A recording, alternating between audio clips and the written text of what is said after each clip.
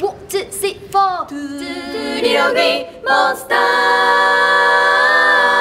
リトルグリーンモンスターです。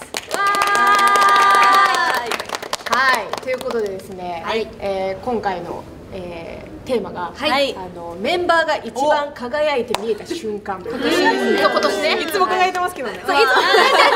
輝いてるけど特に。特に特にね。そうやっぱ年末ですしね、はい。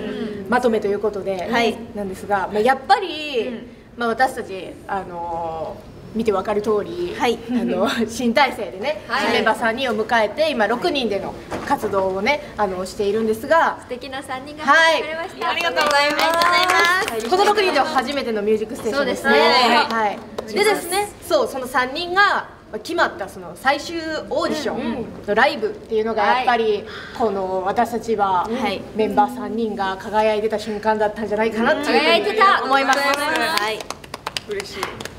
覚えてますか？その時のこと。いやもちろんですよ。覚えてないわけないねんから。